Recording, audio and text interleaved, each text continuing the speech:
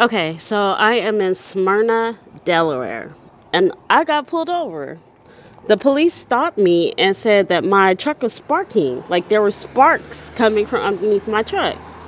So I stopped, and there's a little spring down there that was dragging on the ground and creating sparks, like it was trying to catch fire. I don't know what it was doing. But I tried to lift it back up with but this thing is so heavy everything i use to lift it back up it just falls right back down. Um, see there's another spring connecting it up there. So these wires are not dragging on the ground but because of that spring that used to hold it up there broke off and is dragging on the ground i'm broke down and stuck. Now i called breakdown i'm waiting for them to come and fix it but i'm in smyrna delaware middle of nowhere. So I don't know how long they're gonna take because there's no truck stops around here. But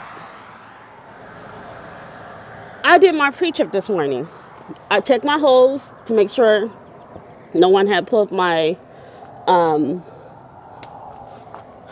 my tandems. I checked my fifth wheel, make sure nobody had pulled my fifth wheel.